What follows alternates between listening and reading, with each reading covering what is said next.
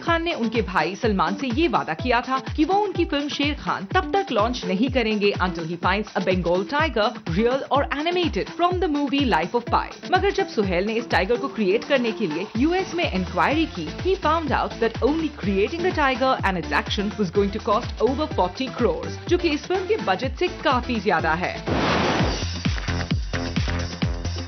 इनकार इस फ़िल्म की लीड एक्ट्रेस चित्रांगदा सिंह और डायरेक्टर सुधीर मिश्रा को एक लीडिंग अपेरल ब्रांड के corporate look themed fashion show को अटेंड करते हुए देखा गया। वैसे ये ब्रांड इस फ़िल्म के स्टाइल पार्टनर्स हैं। यहाँ चित्रांगदा ने इस ब्रांड के पावर प्ले कलेक्शन की काफ़ी तारीफ़ की।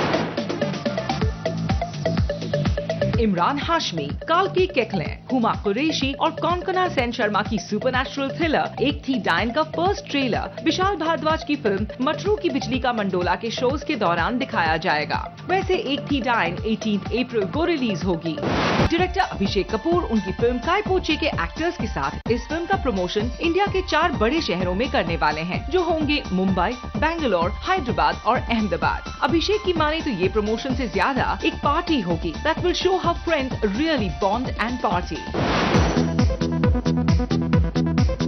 Ajay Devgn starrer Himmatwala remake में अध्ययन सुमन विलन का रोल निभा रहे हैं which was actually played by Shakti Kapoor in the original film और अध्ययन को इस बात की खुशी है कि डायरेक्टर साजिद खान ने उन्हें इस फ़िल्म के लिए कंसिडर किया